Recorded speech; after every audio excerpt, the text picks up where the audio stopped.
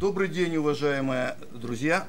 Позвольте представиться. Загайнов Николай Александрович и Гурецкая Татьяна Анатольевна, научные сотрудники Народного академического университета эволюции разума. Одесса. В качестве предисловия к теме идеально подходит рубай средневекового мыслителя Амара Хаяма. Быть целью бытия и мироздания нам, всевидящим умом лучом познания нам – Пойми же, человек, что круг Вселенной – перстень, где суждено сверкнуть алмазной гранью нам. Аксиентология – это система новых для нашей цивилизации научных взглядов на устройство мироздания, объясняющая смысл жизни человека и всего человечества и показывающая, что главной целью Вселенной является разумная жизнь. Аксиентология – это новое научное направление – новая парадигма в науке и новый путь развития человечества. Новое мировоззрение и новая наука аксиентология были представлены группой ученых-представителей научной школы наших предшественников, период с 2000 по 2009 год, которые основали школу нового мировоззрения, преобразованную в 2006 году в Народный академический университет эволюции разума, НАУ-ЭРА в городе Одессе, Украина – Передача элементов этой науки продолжается и является последней попыткой повлиять на выбор разумного пути развития человечества. Выводы и предположения аксионтологии о глобальных процессах в нашем мире и, главное, как управлять этими процессами, получили подтверждение на практике. В структуре аксионтологического мировоззрения все знания современной официальной науки, соответствующие реальности, вписываются в природно-причинно-следственные связи – и получают новое объяснение, основанное на реальных законах природы. Прежде чем продолжить доклад, необходимо ввести несколько новых понятий и терминов. Мы знаем, что перед законом все люди равны, но в то же время по возможностям познания устройства мира, например, обучения, все люди разные, имеются отличники и двоечники. Согласно аксионтологии, по возможностям познания устройства мироздания существуют следующие варианты – Полиды. Полевая единица – это люди-движители, которые предпочитают действовать.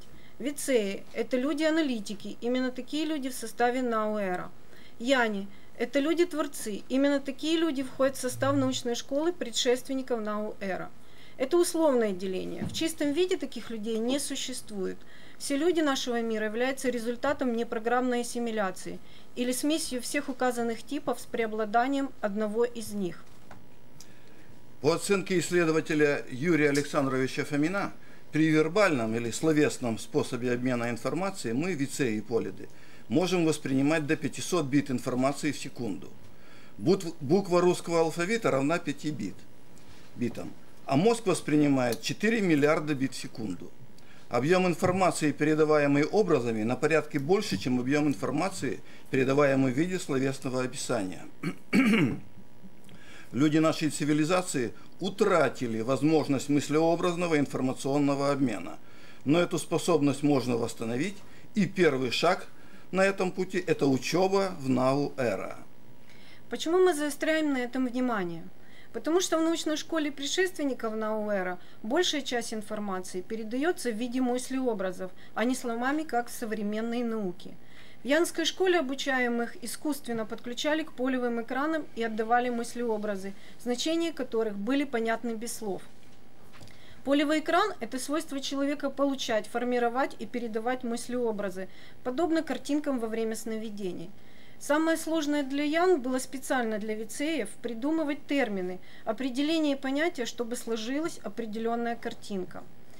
Какова скорость передачи информации при обучении в янском варианте? Точных данных у нас нет. Есть информация о том, что объем знаний, передаваемый лекционным путем за 300-500 лет при помощи полевого экрана, сокращается до 4 лет. Именно такой срок обучения в Янской школе. Сравните скорость передачи информации при обучении у полидов и вицеев 500 бит в секунду, а в янском варианте возможно 4 миллиарда бит в секунду, а может и больше – чтобы ВЦМ достичь подобной скорости обучения, надо начинать с учебы в НАУ-эра. Прежде чем начать знакомство с введением, необходимо понимать, что любая наука – это не собрание безупречных истин, а понимание устройства Вселенной, земного мира и их элементов, на сегодняшнем уровне развития общества и разума людей, создающих эту науку. И ничего более. Возьмем в качестве примера официальную науку. Знает ли она устройство природы? Является ли она собранием безупречных истин? По некоторым данным, существует несколько десятков гипотез об устройстве мироздания, а единой теории, подтвержденной практикой, нет. Ответ на поставленные, на поставленные вопросы отрицательный. Рассмотрим достижения научной школы предшественников Науэра. Единая теория мироустройства, подтвержденная двухтысячелетней практикой, существует. Значит, эта теория приближена к истине? Да, конечно. Можно ли сказать, что наука предшественников познала все и является собранием безупречных истин, ведь в составе этой научной школы разумные человеки, получившие признание от вышестоящего разума?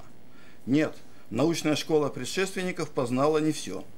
Даже Творец нашей Вселенной, создавший пространство времени, его составные части, полевые вещественные объекты и субъекты, определивший законы полевого вещественного мироздания, знает не все – Иначе зачем ему созидать, проводить опыты и достигать поставленные цели?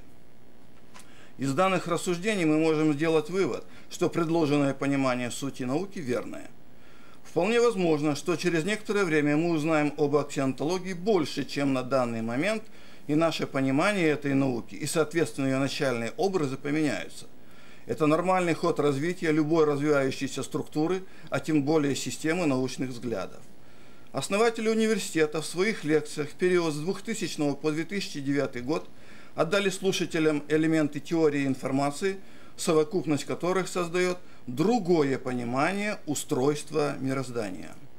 Наиболее полно и глубоко элементы аксионтологии сформулированы в книге «Рыцари с поднятым забралом», написанным одним из основателей Нау-Эра Владимиром Евгеньевичем Шарашовым, Лесом. Учредители Науэра не планируют самостоятельно писать теоретические разработки и учебники по аксионтологии.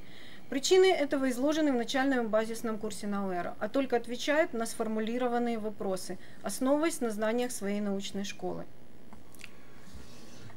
Коллективу Университета эволюции разума на базе полученной информации необходимо самостоятельно пройти путь научного познания. Это то, чем Университет эволюции разума сегодня занимается. Отдельные элементы всех данных ступеней научного познания в аксионтологии и науке Науара уже существуют.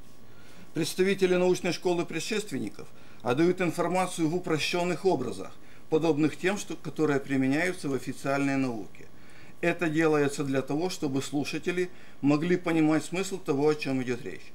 Язык современной цивилизации – не имеет слов и понятий, отображающие реальные физические процессы в природе и действительные полевые образы мироустройства. С одной стороны, упрощенные образы позволяют понимать суть происходящих природных процессов, а с другой стороны, отсутствие инструментов, слов и понятий представляет определенную сложность при осуществлении попыток исследования и систематизации. Приведем всего одно мнение о состоянии современной науки – Алексей Николаевич Дмитриев, доктор геолого-минералогических наук, профессор, сотрудник НИИ геофизики РАН. Современная физика является собой весьма жалкое зрелище. Мы не можем ни спрогнозировать, ни предотвратить природные катастрофы. Каковы же причины вышеуказанного состояния фундаментальной науки? Наш мир на планете Земля, Солнечная система и вся Вселенная представляют собой единую взаимозависимую систему – значит и наука, описывающая ее, также должна быть единой системой. К сожалению, современная официальная наука раздроблена на узкие направления и практически не учитывает взаимосвязь с окружающим миром. Не существует единой теории устройства мироздания и соответствующего миропонимания. Конечно же, ученые ищут выход из научного тупика и пути дальнейшего развития науки и цивилизации. Следует сказать, что в ходе поисков часть официальных ученых пришли к выводу о существовании высшего разума и единого источника знаний, из которого они иногда спонтанно черпают свои открытия. Существуют научные работы, со созданы научно-популярные фильмы, где прямо называется «Источник информации», «Инфополе». Но что представляет из себя этот источник знаний и как его использовать, наука не знает. Учитывая, что официальная фундаментальная наука в тупике, о чем свидетельствуют выше приведенные высказывания, научное сообщество подошло к необходимости кардинальных изменений, научной революции. А что это такое? Научная революция – это период коренной ломки, трансформации, переинтерпретации основных научных результатов и достижений. А как в официальной науке воспринимают новации, а тем более научные революции – Приведем мнение геофизика Яницкого. Новое в науке, особенно такое, которое ломает общепринятые представления, всегда принимается с трудом. Чем выше на иерархической лестнице в научном учреждении стоит облеченное властью лицом, тем сложнее оно может примириться с новацией, которая, как правило, для него означает научное самоубийство. Некоторые ученые предполагают в своих науках – отдельные революционные с их точки зрения изменения, но они не носят всеобъемлющего характера и, как правило, не подкреплены успешной практикой. Возможен ли другой вариант развития человеческого познания и другой вариант развития науки? Быть может, предположение отдельных ученых о том, что существует вышестоящий разум и имеется единый источник знаний, из которого они иногда черпают свои открытия, на чем-то основаны, и это можно объяснить и доказать. Попытаемся это сделать, представляя вам науку, которая развивалась именно как другой вариант развития человеческого познания. Основу этих знаний отдали людям на нашего мира представители вышестоящего разума 20 веков назад. До 2000 года научная школа, развивающая эту науку, не имела права отдавать знания о реальном устройстве мира остальному человечеству. Информация о причинах этого запрета дается в начальном и базисном курсе Университета эволюции разума. Науэра предлагает научному сообществу и всему человечеству систему научных взглядов и практического опыта, которую назвали аксиантологией. Название науки аксиантология предложено 23 сентября 2008 года автором книги «Рыцари с поднятым забралом», одним из основателей Науэра Владимиром Евгеньевичем Шарашовым, Лесом. На нынешнем этапе развития аксионтологической научной школы в НАУ-эра и учитывая, что современные ученые по степени развития делят науки на описательные и математизированные, предлагается следующее развернутое определение. Аксиентология – это описательная наука, базирующаяся на новой парадигме, на подлинных законах мироздания. Используя соответствующие реальности достижения официальных наук и философии – Аксиентология показывает результат творения высшего разума нашу Вселенную, ее часть наш мир, логичную картину их устройства, главную ценность – разумную жизнь. А жизнью является все, как полевое, так и вещественное мироздание. Первым и главным объектом, целью изучения аксиентологии является человек и ему подобное. Эволюция их разума, взаимодействие с окружающей средой, а также основы биологической и полевой жизни – Сократим развернутое определение до одного предложения. Аксиантология – это наука, изучающая мироздание, все формы жизни человека и человечества, как ценность мироздания, как единую взаимосвязанную систему. На основании выше приведенного можно предложить еще более сокращенное определение, которое сформулировал Владимир Евгеньевич Шарашов. Аксиантология – это наука, изучающая ценность сущего – Постепенное познание устройства и законов мироздания неизбежно приводит к выводу, что Вселенная представляет собой живую, разумную сущность полевой и полево-вещественной формы жизни. Цель развития Вселенной состоит в получении конкретного результата. Наша планета и наш мир являются частью и разумным исполнителем ее задачи, а именно создание биологической формы жизни и наделение лучшего ее представителя возможностью разумно созидательно мыслить, творить и выполнять задачи вышестоящего разума. Подтверждением столь неожиданным для большинства современных ученых выше сформулированного вывода утверждения может служить предвзятый взгляд на имеющиеся и подтвержденные научные факты. Эти факты имеются в астрономии, биологии, ботанике, палеонтологии, математике. Например, фрактальная геометрия, описывающая устройство, а фактический принцип создания биологической и не только биологической формы жизни. Приведем пример. По мнению геофизика Яницкого, выполненное в 1950-1980-х годах фундаментальные исследования позволили уточнить существующее представление о строении Земли ее энергетики и подтверждают самоорганизацию физического пространства. Ложные представления о вмещающем нас мире, начиная со строения Земли и кончая механизмами формирования погоды и стихийных бедствий, являются самыми опасными. Но никто из современных ученых не может предложить, каким образом понимать разум Земли и как с ним взаимодействовать. Аксиентологическая научная школа предшественников Науэра имеет двухтысячелетний опыт взаимодействия с разумом Земли и представителями вышестоящего разума. С точки зрения аксиентологии, жизнью являются не только биологические структуры. Живым является все.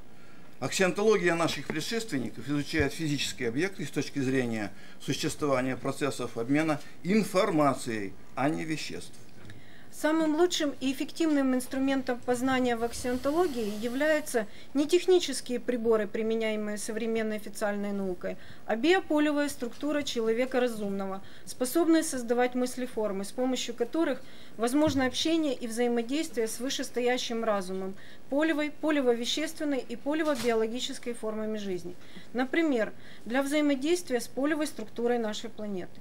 Аксионтология уже проверена на практике научной школы наших предшественников в течение 20 веков ее развития, а начиная с 2000 года практической работой Нау-Эра.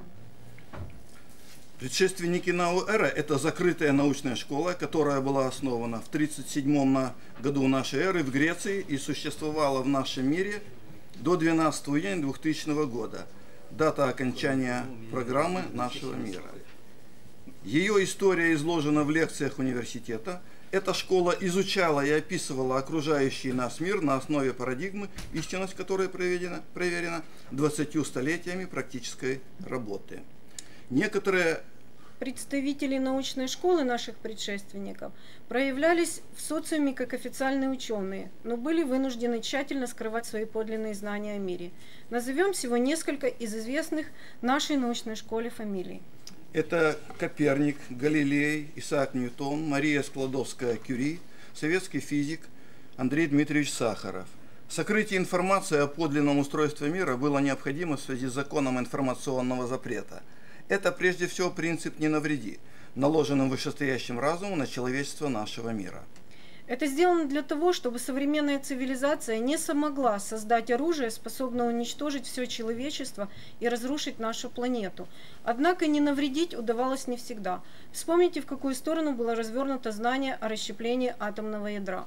В связи с этим логично предположить, что после Второй мировой войны вследствие создания атомного оружия, способного при одновременном применении уничтожить человечество и даже разрушить планету, а также и других видов оружия массового поражения, закон инфозапрета соблюдался очень жестко. Его результатом стал застой фундаментальной науки со второй половины XX века. И поэтому наше человечество фактически осталось цивилизацией паровых машин. Правда, некоторые страны научились вместо дров и каменного угля использовать опасное ядерное топливо. Но в этот период прикладные технические и технологические направления научных поисков развивались очень быстро и дали результаты, позволившие создать новые инструменты для проведения научных исследований и приборы бытового применения. Практическая работа аксионтолога заключается во взаимодействии с разумом Земли путем обмена информацией при помощи мыслеформ, образов, называемыми репродуктивными формами реальности, репрофорами. Разум Земли, основываясь на репрофорной информации, выполняет поставленные задачи и создает вещественные структуры или события, необходимые оператору. Современное человечество по возможностям познания имеет несколько типов, и каждый вариант имеет Э, различается устройством своей полевой структуры от самой простой животной структуры до сравнительно сложной и многофункциональной. Представители научной школы предшественников называют себя Яни и отличаются от большинства людей более сложным устройством своей полевой структуры, и поэтому не могут свой опыт и знания переложить в кладовые памяти людей с простой полевой структурой – у которых нет соответствующих полевых программ, но они могут показать и подсказать. На вопросы людей с более простой полевой структурой они отвечают, опираясь на базу своих знаний. Люди, способные теоретически познать аксионтологию и работать в качестве полевых операторов по аксионтологической терминологии, называются вице и вице-эфеты.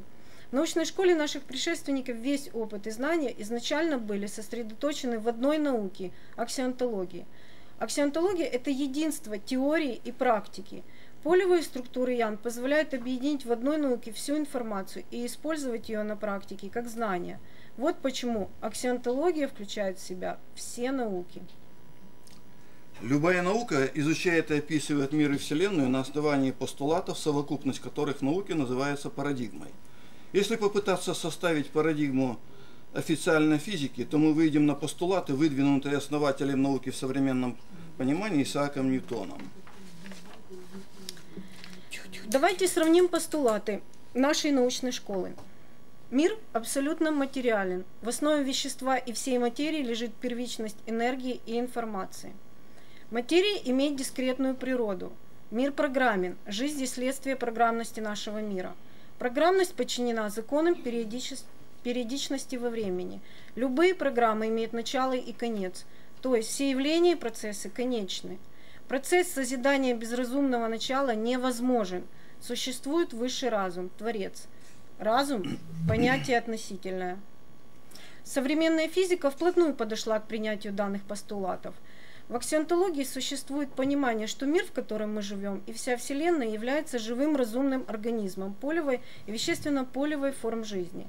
Под понятием «творец» понимается живая, разумная структура, существующая в той или иной живой среде. Э, хотелось бы дополнить э, Татьяну Анатольевну. Дискретность мы понимаем не так, как понимает современная официальная физика. А об этом будет доклад в субботу в 13 часов.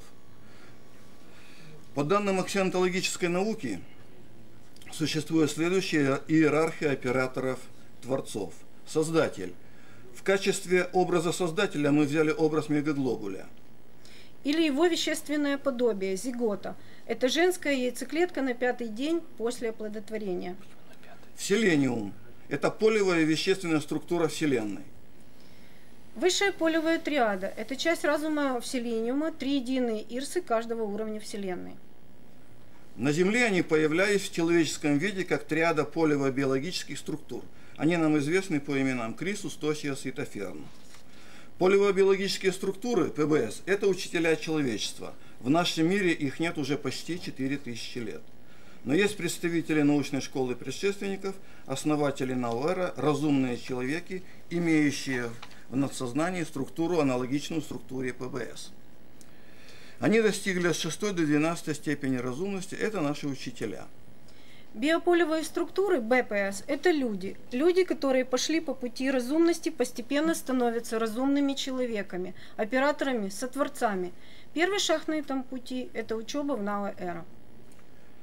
Наша планета Земля, как разумная программная структура, выполняет задачи, заключающиеся в создании дискретных миров, где могла бы жить биологическая форма жизни. БПС или человеки – это последние операторы, выполняющие главную задачу в перенос и запись информации в в мыслениум 2. После окончания программы жизни в в мыслениуме 1 его личность переходит в мыслениум 2, а затем снова в мыслениум 1. Данный процесс должен обеспечить бессмертие высшего разума нашей Вселенной. Человеки, разумные операторы, могут свободно переходить из мыслениума 1 в мыслениум 2 и обратно. Одним из самых важных разделов аксионтологии является изучение устройства и принципов работы биологической клетки. Для понимания основ оперативных возможностей человека необходимо рассмотреть некоторые особенности и свойства клеток человеческого организма. Буквально еще 5 минут. Да, да, хватает. Э, клеток человеческого организма. Внутренняя и внешняя среда клетки человеческого тела имеют свойство накапливать энергетические заряды с противоположными знаками, плюс и минус.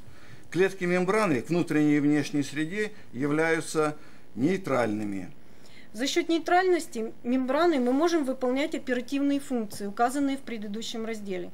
Человек и человечество в целом подобны мембране внутри среды, в которой создан наш организм. Если привлечь энергию из внешней среды, то на на внешней поверхности мембраны клетки заряд увеличится. И наоборот, при уменьшении энергии заряд уменьшается. На эти процессы реагирует внутренняя среда клетки, соответственно, изменяя заряд у внутренней поверхности мембраны. Заряд, который образуется внутри клетки, рождает реакцию внутри не только самой клетки, но и внутри ее структурных элементов, атомов. Происходит привлечение энергии, необходимой для того, чтобы уравновесить эти заряды. С точки зрения аксионтологии, внутренняя среда клетки реагирует информационно. Аналогом или наглядной моделью энергетического взаимодействия зарядов внутри и снаружи клетки может служить стеклянный шар с электрическими разрядами внутри, реагирующий на прикосновение снаружи. Таким же образом мы способны воспринимать информацию из одной протосреды М1 и передавать в другую М2. Мы являемся нейтральными управляющими мембранами, способными информационно управлять средой мышления М2. Человеки должны научиться структурировать мышление М2 с помощью разума. Для этого необходимо уметь считывать информацию из мышления М1, понимать ее с помощью сознания, закладывать свой вещественный гимном, уметь выстраивать мыслеформы, репрофоры – управляющей мембране и в результате по образцу и подобию информационно структурировать пространство времени мыслению МИ-2.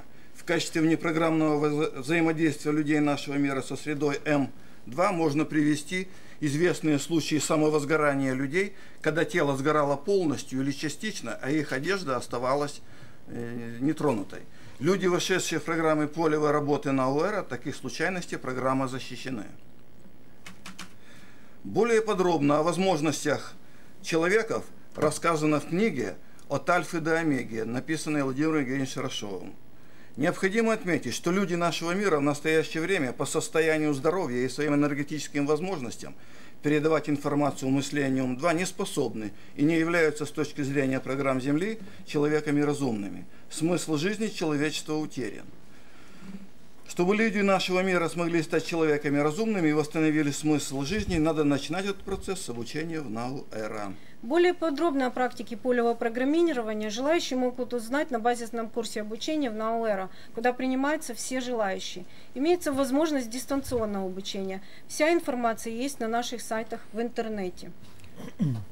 А теперь выводы. Официальная фундаментальная наука в тупике. Научное сообщество подошло к необходимости кардинальных изменений, трансформации, переинтерпретации основных научных результатов и достижений, к научной революции, цель и суть которой – принципиальное видоизменение всех главных стратегий научного исследования и замена парадигмы.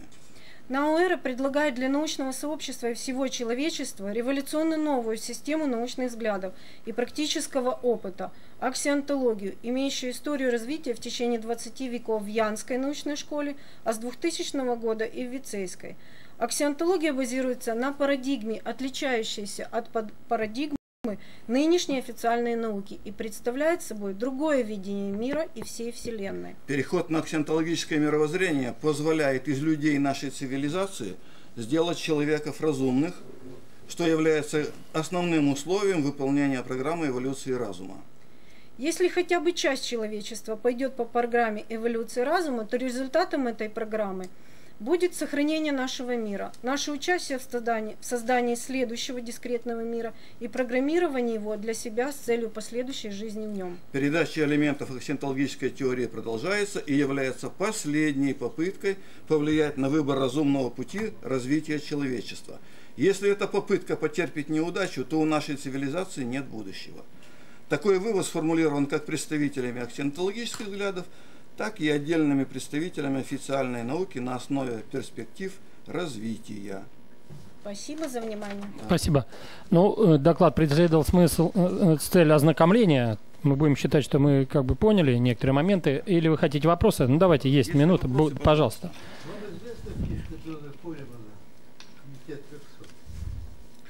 Так, вопрос задайте. Я, ну, есть, так. Она мне такая известна. Ну и что из этого? Тихо, тихо, тихо, сейчас.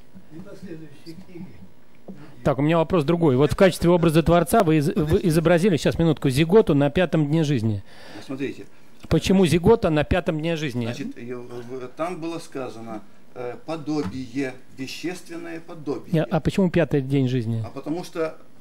Потому что она, я не, не агрессивно к вам, я просто вопрос не, Я понимаю, я понимаю. Просто что такое... Э, Сейчас вам покажу. Не, я просто дам справку, я просто потом подумайте, вашим авторитетом скажите. Итак, 40% гинекологов считают, что беременность наступает не в матке, а в фаллопиевых трубах, когда спермия и яйцеклетка встречаются. То 60% считают, что тогда, когда происходит имплантация в матку. Значит, зигота развивается в матке, а жизнь, то есть момент творения, не связан с этим процессом. Отсюда вывод. Рассматривать зиготу как образ на пятом дне, тем более, ну, по крайней мере, есть вопросы. Том, Я не критикую, я обращаю ваше внимание. Да. Отсюда, кстати, проблемы э, абортов. То есть э, э, церковь, как считать, когда момент жизни наступает? Если беременность наступает в фаллопиевых трубах, то тогда это одно. А если значит, в матке, то другое. Это чисто этический вопрос, связанный с религиозным воз- воззрением. Вы в качестве образа Творца выбрали второй вариант. Это ваше право, но я обращаю внимание, что есть вопросы. дело в том, что в нашем Никто не знает. Я понял, да. Уважаемые друзья, послушайте, в нашем э, вещественном мире нет аналогов, подобных тем процессам, которые проходят в полевом мире. Но для того, чтобы что Никто не знает, что такое поле. Вот в этом проблема. Ладно, все, давайте мы закончим на открытую. На, у нас будет круглый стол. Можно, если вы знаете, что такое поле, скажите кому-нибудь, вам Нобелевскую премию сразу дадут. Физики не знают я, до сих я пор. предлагаю всем изучить. И что такое электрический поле. ток, они не знают. То, что выясняется, что непонятно, что такое электрон и так далее и тому подобное.